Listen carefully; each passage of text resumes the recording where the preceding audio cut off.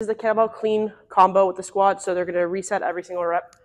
So they're gonna hike them back, clean, squat, come all the way up, clean, squat, resetting every single time. So nice little combo.